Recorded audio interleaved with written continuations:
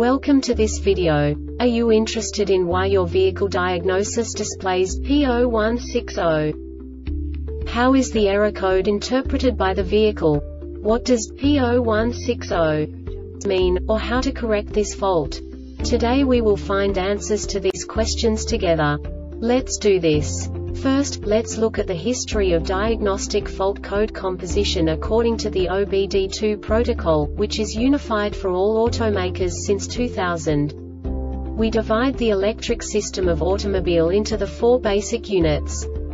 Powertrain, body, chassis, network. This distribution is defined in the first character code. If the second character is expressed as zero, it is a standardized error. In the case of numbers 1, 2, 3 it is a more prestigious expression of the car-specific error. The third character specifies a subset of errors.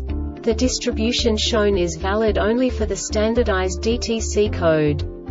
Only the last two characters define the specific fault of the group.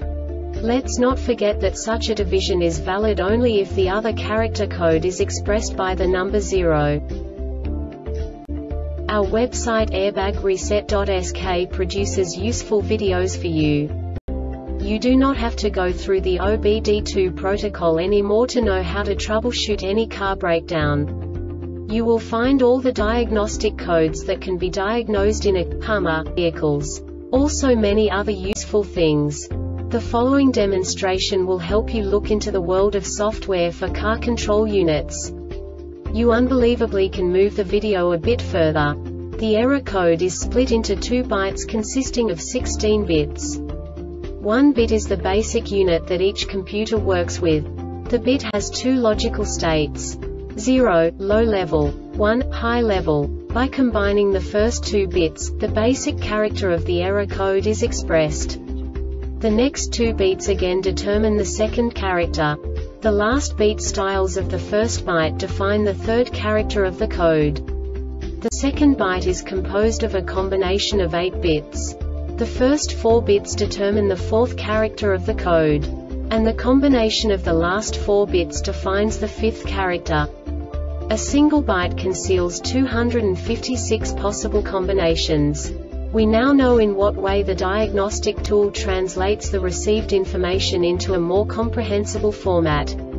The number itself does not make sense to us if we cannot assign information about it to what it actually expresses.